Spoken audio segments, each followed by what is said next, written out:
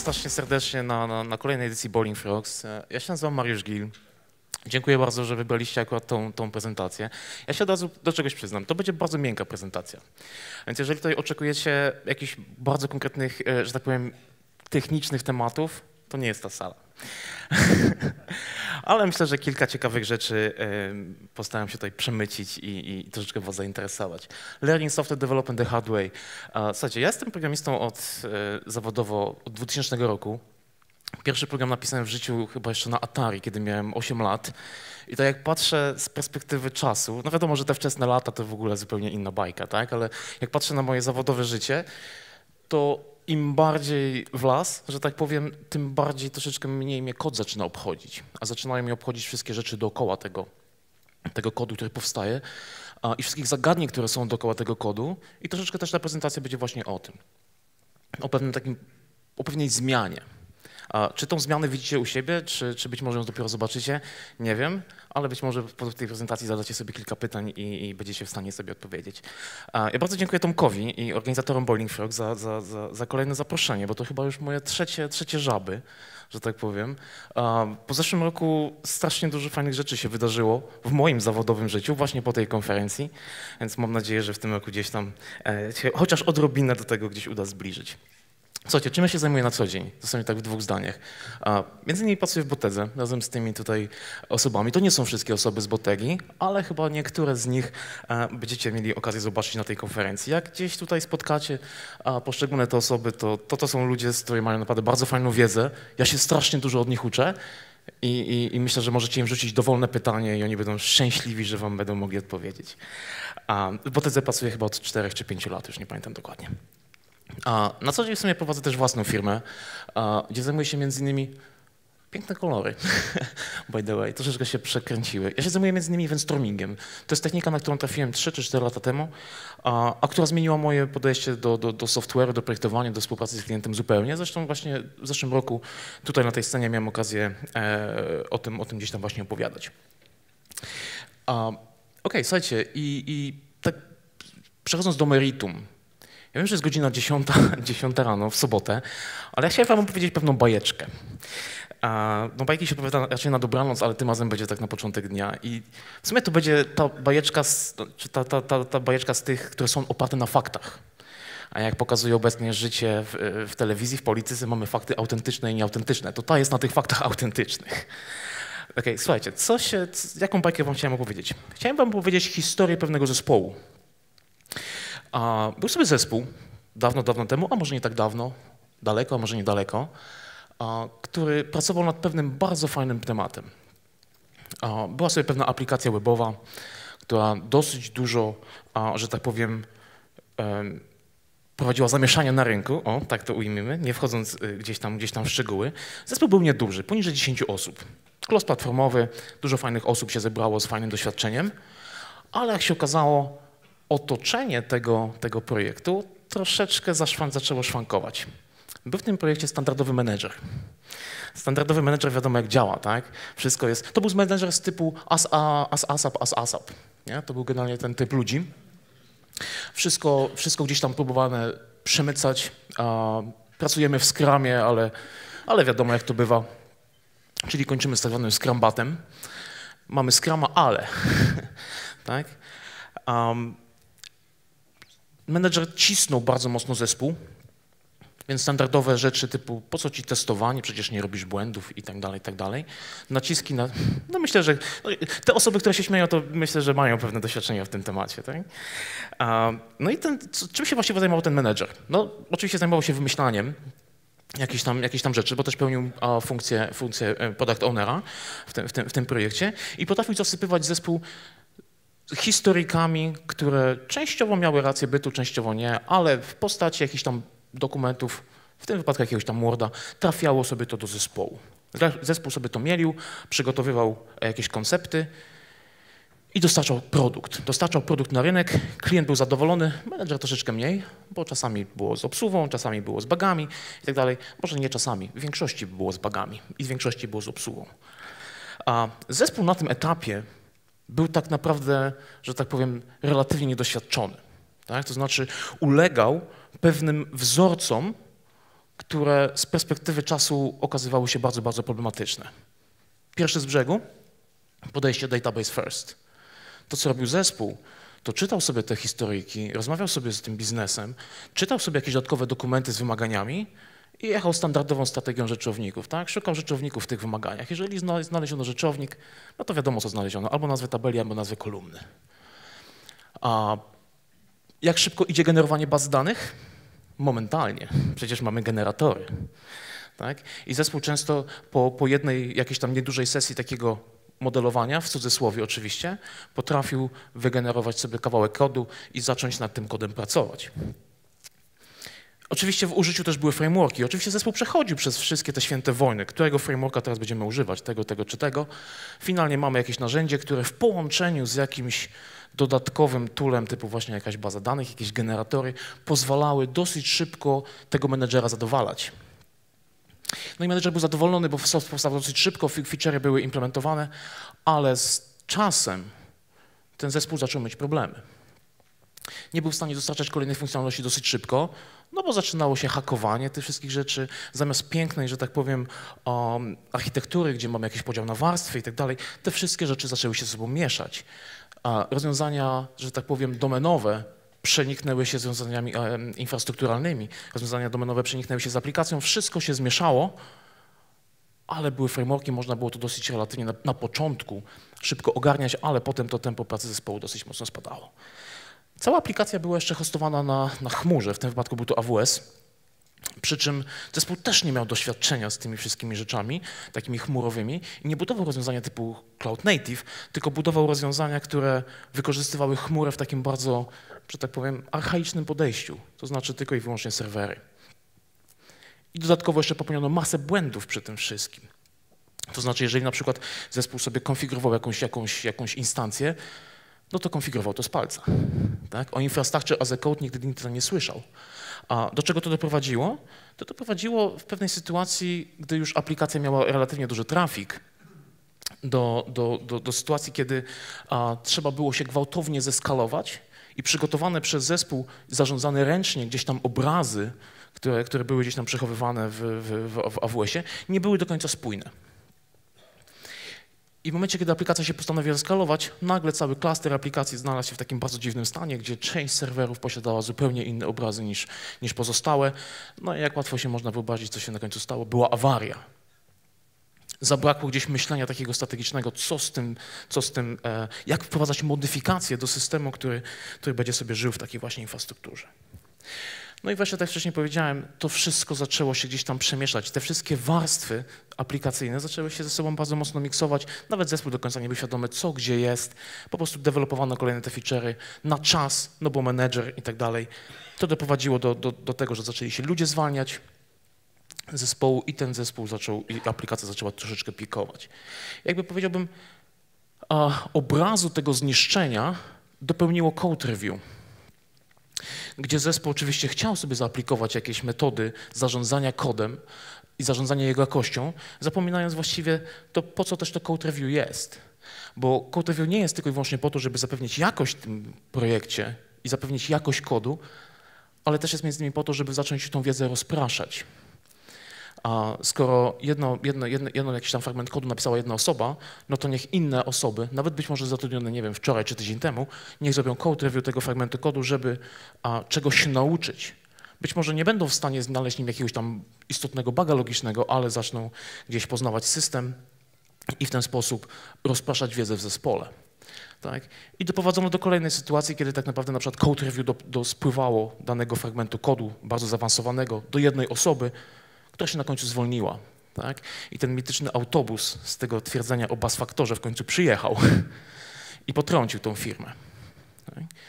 I kiedy to się wszystko zemściło, to się wszystko zemściło pewnego dnia o czwartej nad ranem. I to był, to był moment, w którym ta aplikacja implodowała. To znaczy cała infrastruktura się rozsypała. A przez kilka dni nikt nie zauważył, że w projekcie nie robiły się backupy poprawnie. Właściwie się robiły, a były szyfrowane, bazy danych były w tym projekcie ogromne, bazy danych były backupowane, szyfrowane i przesyłane na zewnętrzne storage, w kilku miejscach poza serwerownią. Akurat to było całkiem, całkiem ok, żeby nie doprowadzić do sytuacji, że jeżeli jedna serwerownia, e, że tak powiem, nie działa, to naszych backupów nie ma. I w momencie, kiedy te skrypty zaczęły się gdzieś tam, że tak powiem, mm, psuć, finalnie z serwerów baz danych nie były kasowane te backupy, co doprowadziło do tak naprawdę do spadku zajętego miejsca, na, znaczy do wzrostu zajętego miejsca na dyskach, którego nikt nie zauważył, bo w projekcie zabrakło monitoringu. I tak dzień po dniu tak naprawdę zbliżała się ta awaria. W momencie, kiedy nastąpił ten godzina czwarta nad ranem, kolejne backupy się zrobiły, bazy danych zostały dojechane do końca. Na tych bazach danych jeszcze, na, na tych serwerach jeszcze jakieś inne usługi były. Te usługi się skraszowały i, i aplikacja się tak naprawdę zatrzymała. W momencie, kiedy ktoś podjął decyzję o tym, żeby całą infrastrukturę zestartować, bo to było zasadniczo jedyna opcja w tym wypadku, bo tam strasznie, strasznie się dużo rzeczy popsuło, nagle sobie zespół zdał sprawę, nie o czwartej nad ranem, tylko o siódmej, kiedy już było trzy godziny downtime'u i wszystkie telefony w firmie dzwoniły, że w sumie my nie potrafimy tego odtworzyć. Nie potrafimy tego odtworzyć, ponieważ wszystkie serwery były konfigurowane z palca, nie do końca wiadomo, które obrazy są właściwe, a część konfiguracji usług, w tym na przykład systemy kolejkowe, zostały wyklikane ręcznie. I co z tego, że postawimy całą aplikację, jak nie ma konfiguracji? I na końcu to wszystko płonęło. To wszystko płynęło tak, że 24 godziny downtime'u, dużo straconych złotówek i dużo straconych klientów poprzez wybory technologiczne i nieświadomość technologiczną zespołu. Natomiast życie dopisało dalszy ciąg do tej historii. Po pewnym czasie, kiedy ten zespół troszeczkę się jakby odbudował, dostał szansę numer dwa. To znaczy um, ta aplikacja i tak sobie jakoś tam poradziła. Biznesowo była dosyć ciekawa, więc jakby klienci nowi przyszli i cały zespół został jakby troszeczkę odbudowany. I z racji że ta, ta aplikacja też była pewien czas na rynku, został zebrany jakiś tam feedback, zarówno od klientów, zespół też miał pomysły, zespół też wiedział, co by chciał ulepszyć, co nie zadziałało do końca. Takie rzeczy na przykład właśnie jak automatyzacja. Dzisiaj, dzisiaj trudno sobie wyobrazić projekt, w którym nasza infrastruktura nie jest opisana jakimiś skryptami, która nie jest komitowana do repozytorium, która nie przechodzi tak naprawdę przez jakieś procesy code review, może nie przez deweloperów, ale przez DevOpsów, którą można jednym stryknięciem palca tak naprawdę zainstalować w zupełnie innej serwerowni, a być może nawet na zupełnie innym, nie wiem, dostawcy chmury, bo i tak wszystko jest okodowane i jesteśmy w stanie sobie to wszystko odtworzyć. Więc takie tematy gdzieś tam techniczne zostały gdzieś tam, gdzieś tam ograne. Tematy architektoniczne też zostały podniesione, już aplikacja miała znacznie lepszy podział na te warstwy. Dosyć mocno było oddzielone rzeczy infrastrukturalne, bazy danych, kolejki, jakieś systemy zewnętrzne od, od rzeczy zachodzących gdzieś tam w tej logice tej aplikacji. No i pojawił się nowy zestaw funkcjonalności. Menedżer przyszedł z zestawem nowych dokumentów do tego samego zespołu. Skład zespołu był mniej więcej ten sam. Tam troszeczkę osób podchodziło, troszeczkę doszło, ale ten core był mniej więcej zmieniony.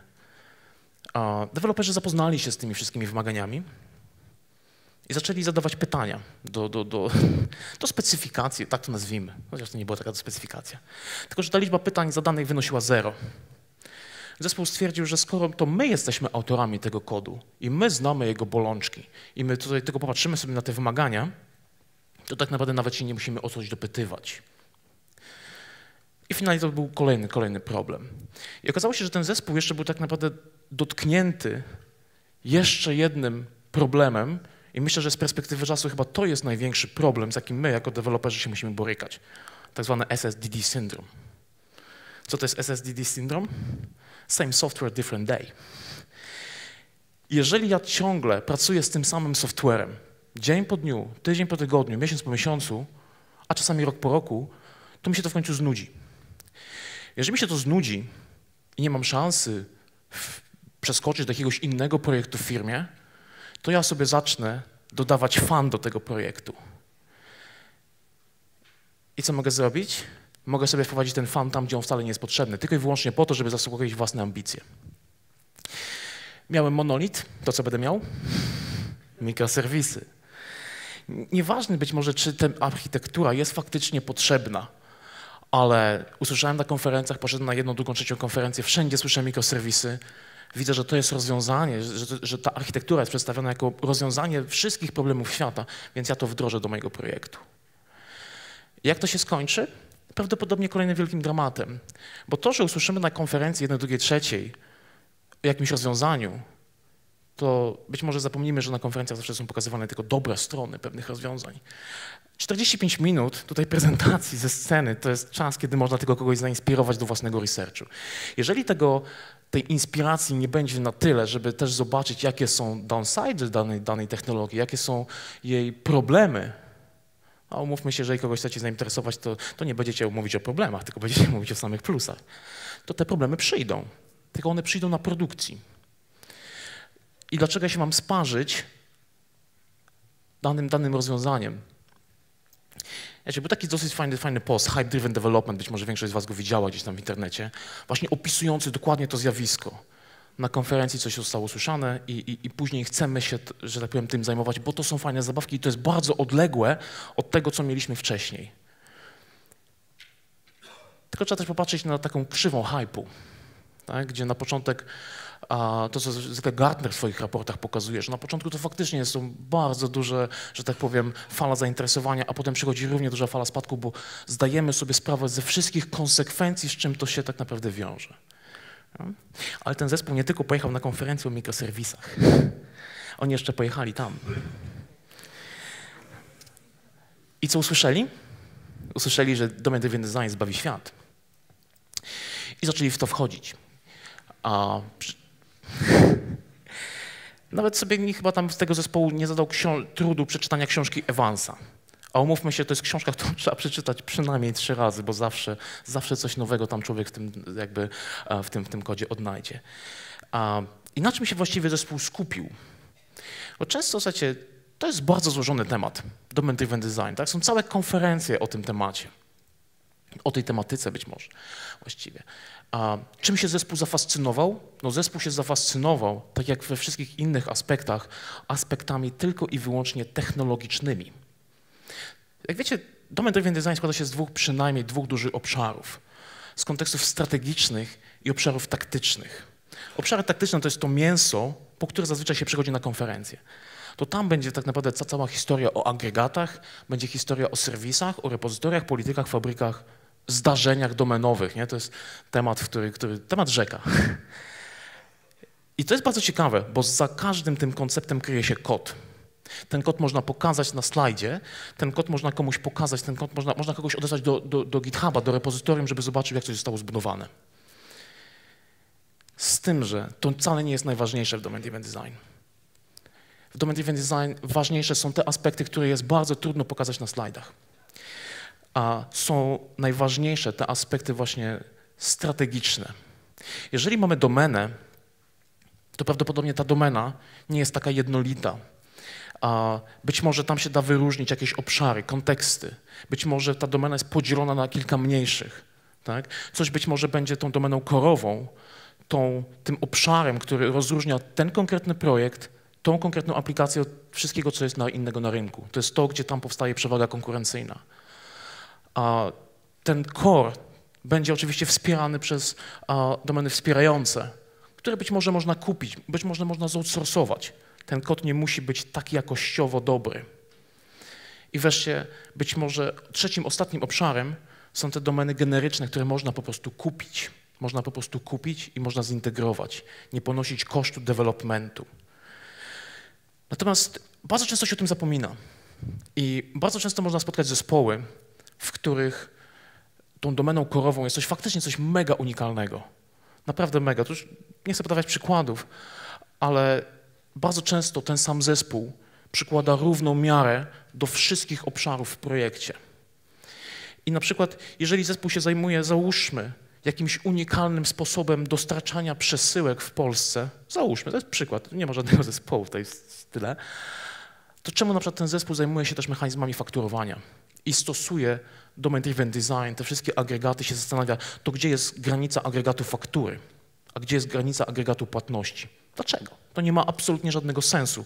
I z perspektywy firmy jest jeszcze gorzej niż być może byłoby to zrobione tak zwaną, jak się mówi, wrocławska szkoła programowania, tak? Entia na twarz i pchasz.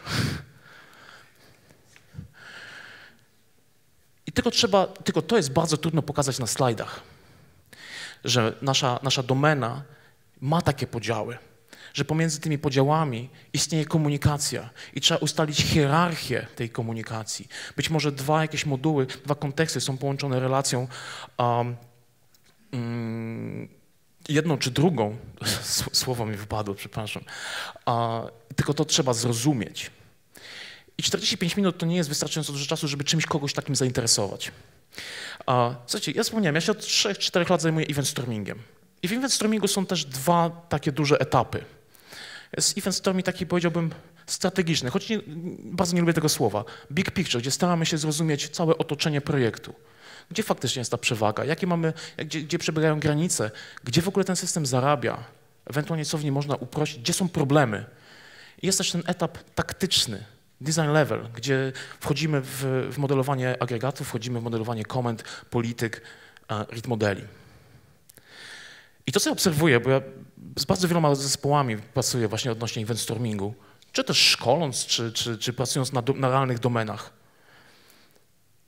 9 na 10 zespołów nie jest w ogóle w żaden sposób zainteresowanych tymi aspektami na pierwszym poziomie. Te, które są kwintesencją tak naprawdę domain-driven design. Większość osób się interesuje tym, tym drugim aspektem, tymi technikaliami, co w sumie nie jest złe jakby się tak zastanowić, ponieważ przez tą drugą, przez zaangażowanie zespołu w tą drugą, tą drugą część można przekształcić w zaangażowanie strategiczne po to, żeby faktycznie coś z tego było. I zespół i firma będzie znacznie bardziej szczęśliwa, jeżeli faktycznie zespół się zaangażuje równo na obydwu poziomach. Natomiast, mówię, na konferencji jest to dosyć trudno sprzedać. Tak? I, i, I czasami trzeba po prostu coś zobaczyć, zobaczyć na swoim przykładzie, żeby coś potem z tego było lepszego. I do czego ten zespół doprowadził, w który się zainteresował bardzo mocno aspektami technicznymi? Że najważniejszymi pytaniami, jakie miał ten zespół, było, jak wielki jest mój agregat. Tak? A twój agregat jest tak duży, że mafia na niego mówi don agregato.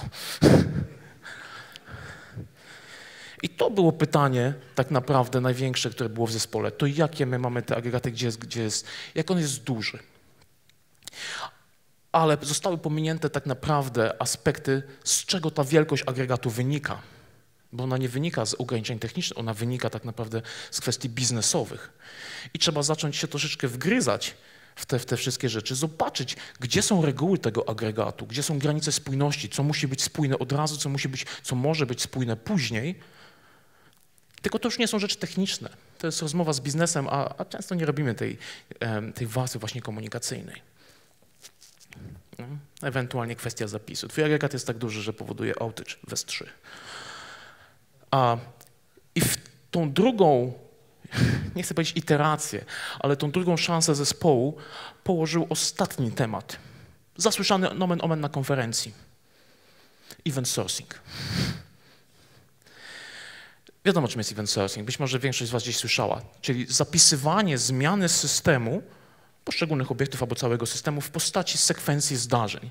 Każda, każda sytuacja, która zmienia system, może zostać zapisana w postaci zdarzenia. Te zdarzenia można odłożyć do bazy danych, te zdarzenia potem można odtworzyć. W jeden, drugi sposób można z tego zrobić projekcję synchroniczną, asynchroniczną. Całe multum możliwości się pojawia. I tam został zastosowany event sourcing. Kod, który powstał, jakby popatrzeć go na, na, na, to, co mówił Sonar, co mówiły narzędzia do, do statycznej analizy kodu, był fantastyczny. Wartości niektórych metryk, o których Uncle Bob mówi, były wielokrotnie lepsze. Tylko, że po dwóch miesiącach tego kodu nikt nie chciał utrzymywać.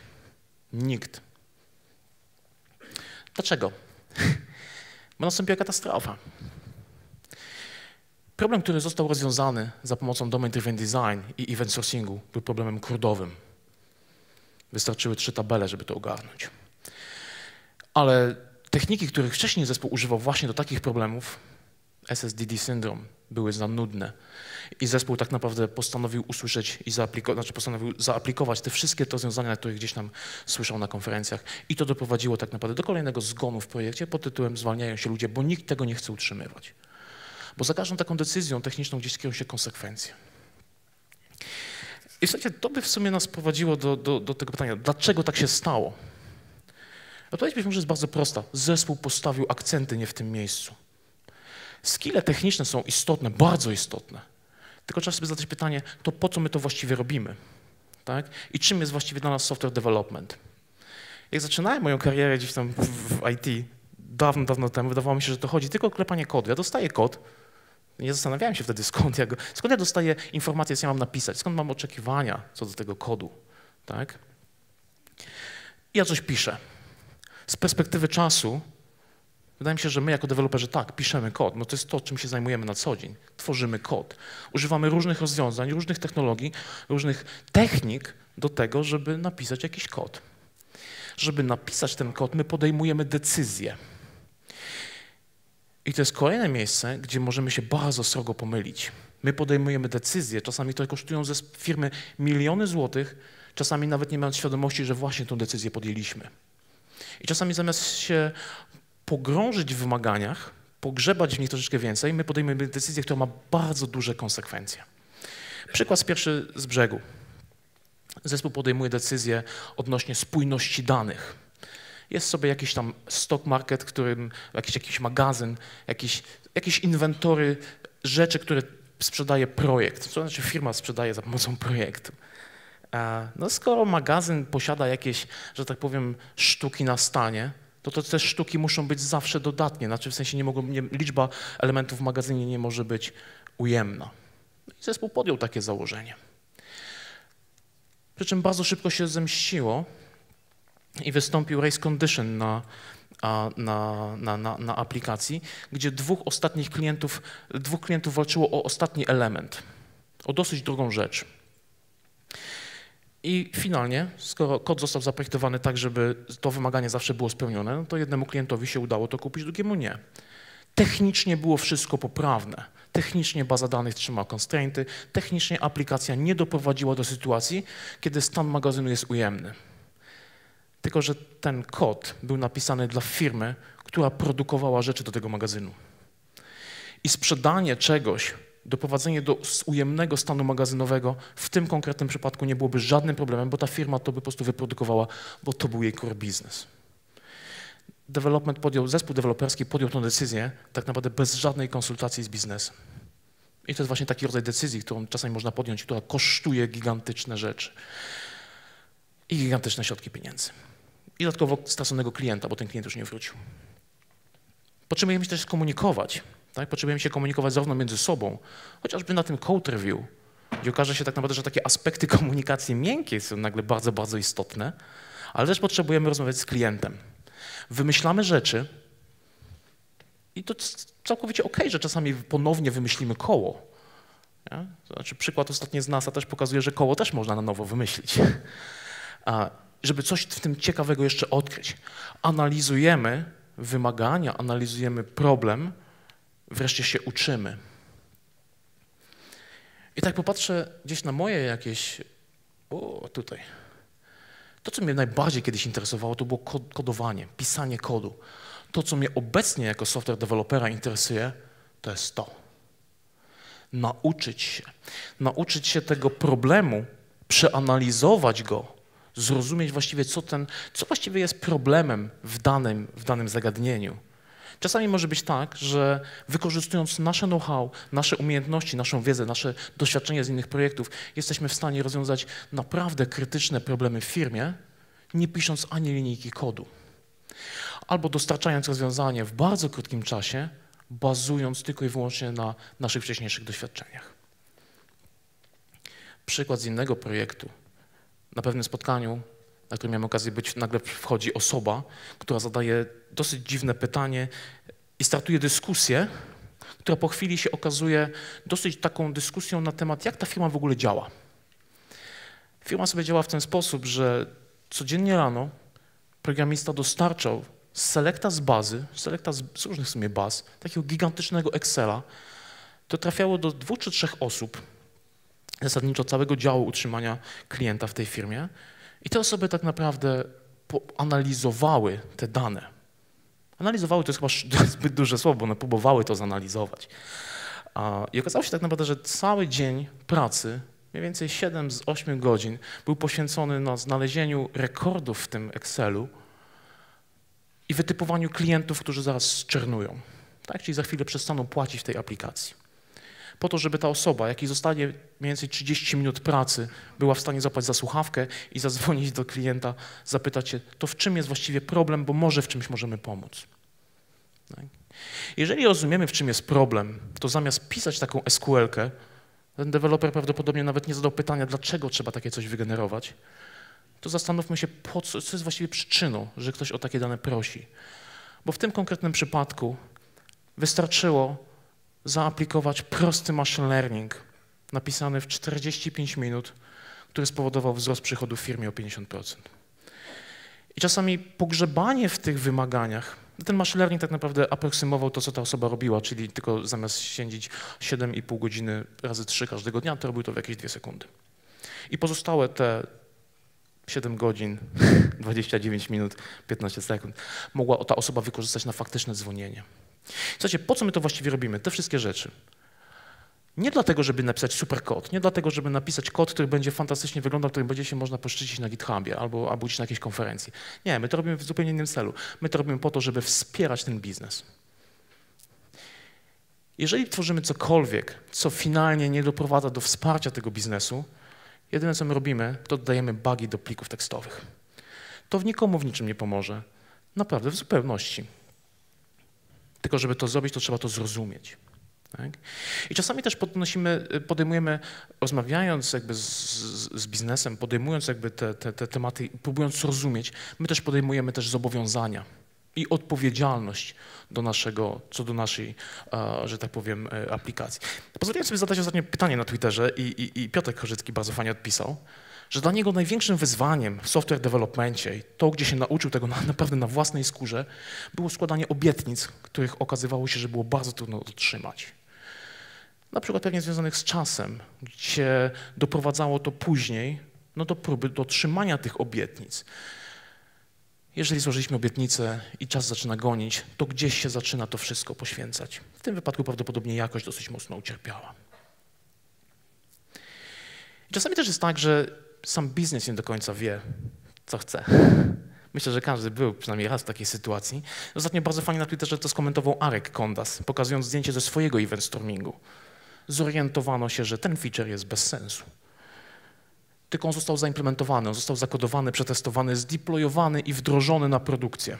I dopiero wtedy ktoś podjął decyzję, że to chyba jest bez sensu.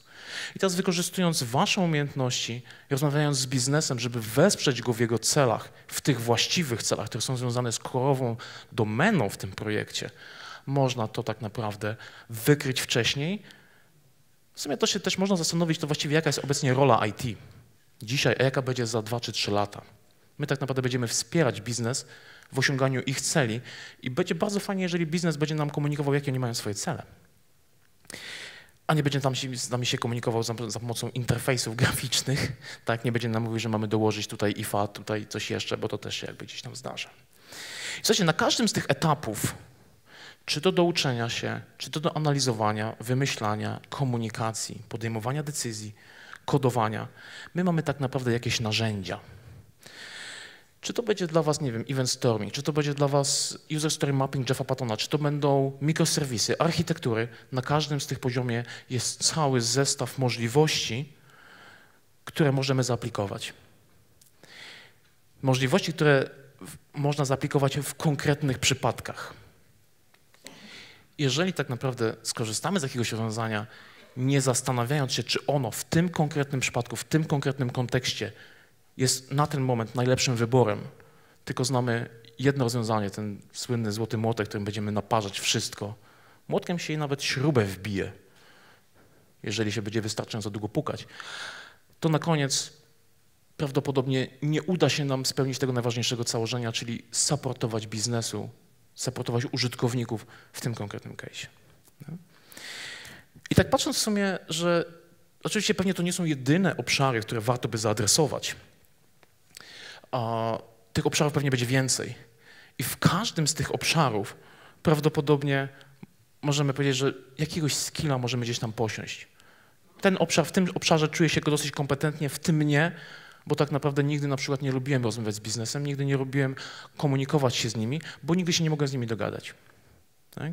OK, mogę zrobić coś, co tak naprawdę będzie pchało mnie, że tak powiem, do, w, w, tą stronę, że to za jakiś czas nie będzie jakimś tam wielkim wyzwaniem. Nie? I w sumie tak naprawdę każdy projekt nas czegoś uczy.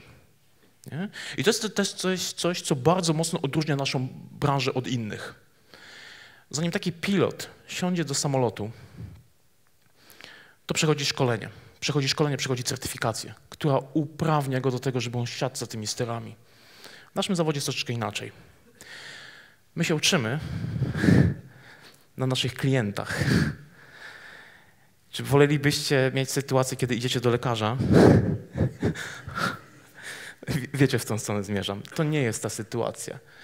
Bardzo fajnie kiedyś to skwitował, zdaje się, Norbert Orzechowicz, e, który kieruje swoim zespołem dla pewnej amerykańskiej firmy tutaj w Krakowie, gdzie Norbert powiedział, że jego zespół, zanim cokolwiek wdroży, jakiś nową, no, nową, nowy koncept, nową technikę w projekcie dla klienta, to robi open source'a, w którym tego używa. Malutką nawet aplikację, którą, żebyście to nie zalegało gdzieś tam w jakimś repozytorium firmowym, wrzucają na open source'a po to, żeby zespół zobaczył, jak to działa w praktyce.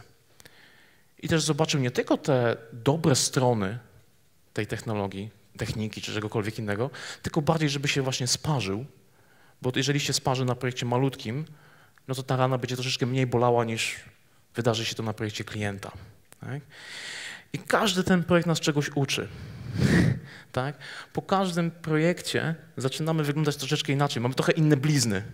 Nie? W końcu ktoś zostaje architektem i już wszystkie, wszystkie ciosy zna. Taki junior być może zna jeden cios, jedną technikę, którą będzie aplikował. Senior troszeczkę więcej, architekt będzie potrafił zaaplikować odpowiednią kombinację ciosów we właściwe miejsca.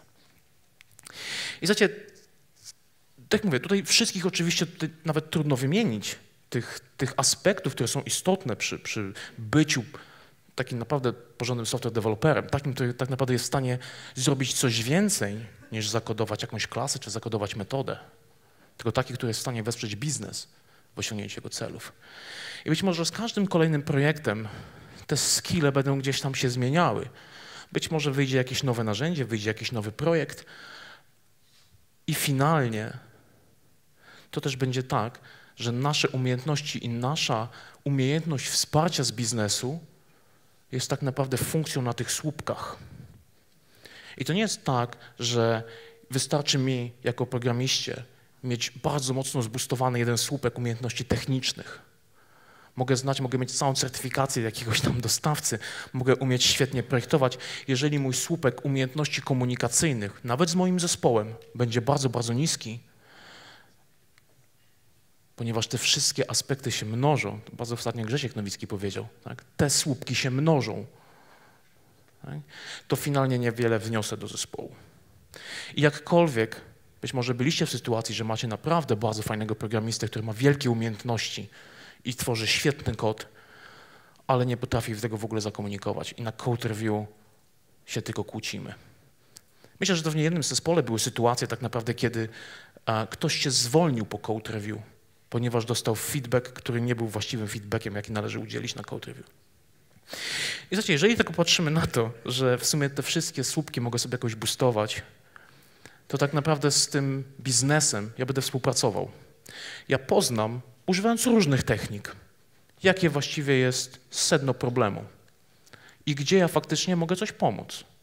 Gdzie na przykład zaaplikowanie refaktoringu faktycznie coś w projekcie zmieni.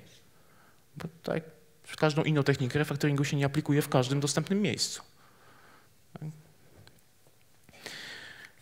Jeżeli korzystamy na przykład z user stories, to to, jest, to nie jest cel, to jest tylko i wyłącznie punkt startu do dyskusji na temat oczekiwań, które oczywiście potem można zautomatyzować.